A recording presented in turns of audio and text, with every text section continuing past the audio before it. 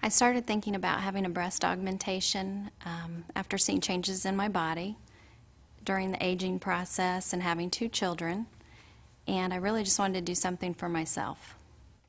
I had a few preconceived ideas about this procedure through magazines, through the media. There are so many TV shows now that show this particular type of procedure, not always for the positive.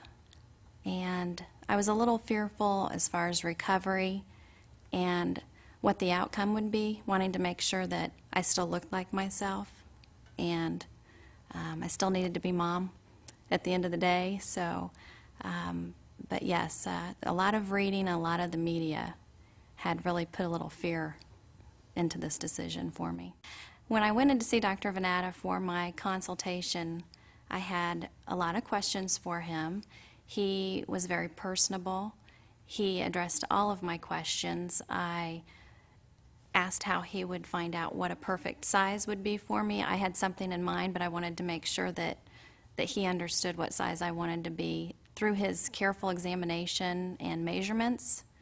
Uh, just really speaking to me about what his outcome has been, how happy his patients have been.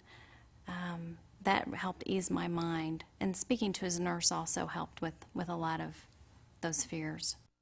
Dr. Van Natta is very straightforward and honest with you, and if you go in thinking you want to be a certain size, he will definitely listen to you, but he will also advise you what he feels is best.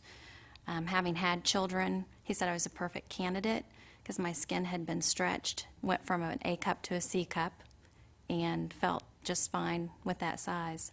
The morning of the surgery, I was a bit nervous, uh, but you do go into the facility and it's such a warm and welcoming facility. Everyone is so nice, and um, I was just very relaxed and comfortable. Everyone speaks to you prior to that surgery, including Dr. Van Natta, the anesthesiologist. They get you very comfortable, and um, from that point on, I just remember waking up in the recovery area. In our office and in our surgery center, we are very careful to select people that really like working with other people and that feel good about what they're doing. And I think that shows. I think the experience that our patients have uh, really reflects that. And he also wants you to do exercises, which are somewhat modified jumping jacks, when you bring your arms up over your head and have your outside of your hands touch. And I felt that this movement did help. Um, it didn't you didn't tighten up, you weren't as sore as you might be if you slept all day. And that I did that every hour. I did actually get in the shower. He wants you getting in the shower, washing your hair. And I did go on to dinner with my husband that evening. It was a quick dinner, but we did actually get out. And um, I just remember coming home and uh, going to bed. He wants you to stay up till 10 o'clock the best you can. I took another ibuprofen before I went to bed and woke up just fine the next morning. The next morning I was still a little sore, but once I started those arm movements again, it helped tremendously.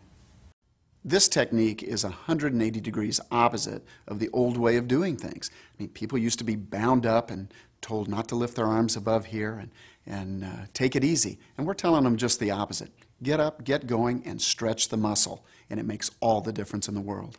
The hardest thing about the recovery program was at one point before you go to bed, you are to lay on the bed on your chest and lie, lie there for 15 minutes. That was probably the only thing that that I didn't care to do, but I know it was helping me in the long run. It's nice to find a surgeon that, that is patient focused and has the patient's needs in mind he cared enough about the recovery to make it very minimal for, for his patients and comfortable for his patients.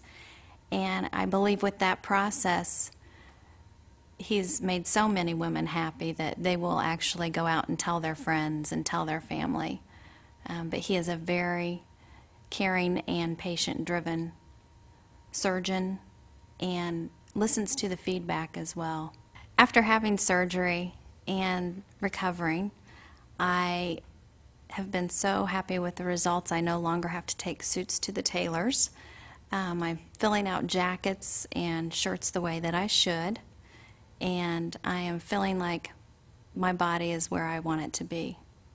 Uh, every day, these women get out of the shower, stand in front of that mirror, and just feel good about the way they look and the way they look in clothes. That self esteem is invaluable, and I'm happy that I can participate in that.